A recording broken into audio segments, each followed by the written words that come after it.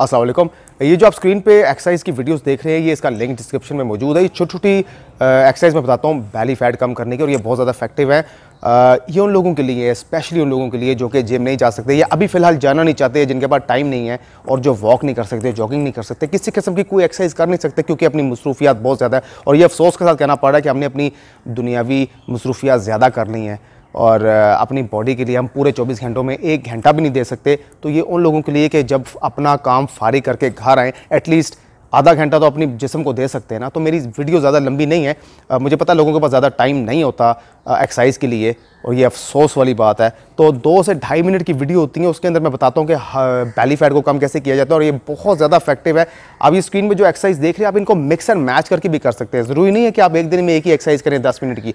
आप दस मिनट की एक एक्सरसाइज करें, फिर ये दूसरी जो आप एक्सरसाइज देख रहे हैं, इसको पाँच मिनट का रेस्ट दें, फिर ये दस मिनट की एक्सरसाइज करें और वीडियो दो से ढाई मिनट की होती है ताकि आपको समझ आ जाए। मेरी एक वीडियो में एक ही एक्सरसाइज बताता हूँ ताकि आपको समझने में आसानी हो। अगर आप, मैं एक वीडियो में दस एक्सरसाइज बता दूँगा तो आपको समझने में मुश्किल होगा। आपको समझ नहीं आएगी कि आपको फिर याद नहीं रहेगा। इसलिए मैं एक वीडियो में एक ही एक्सरसाइज बताता हूँ। तो कोशिश कीजिए कि पूरे 24 घंटों में आप अपने जिसम को एक घंटा ज़रूर दें, चाहे वो जिम जाके दें, चाहे वो घर में एक्सरसाइज करके दें। लेकिन फिर मैं कह रहा हूँ, जिनके पास जिम जाने का टाइम नहीं है या जाना नहीं चाहते या अभी अफोर्ड नहीं कर सकते जिम या इन फ्यूचर प्लान है जिम जाने का तो वो एटलीस्ट घर में तो एक्सरसाइज कर सकते हैं ना। घर में तो किसी ने नहीं रोका आपको।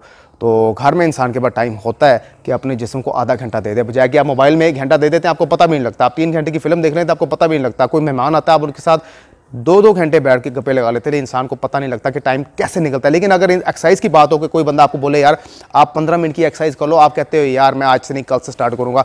जिसने आज से स्टार्ट नहीं ना की, वो कल भी स्टार्ट नहीं करेगा। तो कोशिश करें रोज़ाना रात को आधा घंटा अपने जिसम को ज़रूर दें और ये छोटी छोटी एक्सरसाइज करें, ये पेट बड़ी तेज़ी से अंदर करती है, लेकिन अगर आप एक्सरसाइज करें तो साथ डाइट भी कंट्रोल करें। अगर आप डाइट नहीं कंट्रोल करते और ये वाली जो आप एक्सरसाइज देख रहे हैं, ये करते हैं तो जो आपको तीन महीने में डाइट कंट्रोल के साथ फ़र्क पड़ता है ना, अगर आप डाइट कंट्रोल नहीं करते तो वो आपको छः महीने में जाके फ़र्क पड़ेगा। तो बेहतरी अगर आप जल्दी पेट अंदर करना चाहते हैं, जो कि हर बंदे की ख्वाहिश है फिटनेस का हर बंदा मोहताज है, अगर आज आपको ज़रूरत नहीं ना पड़ रही तो कल आपको इसकी ज़रूरत ज़रूर पड़ेगी, इस, क्योंकि फिटनेस एक ऐसी चीज़ है, इसका हर बंदा मोहताज है, हर बंदे को चाहिए।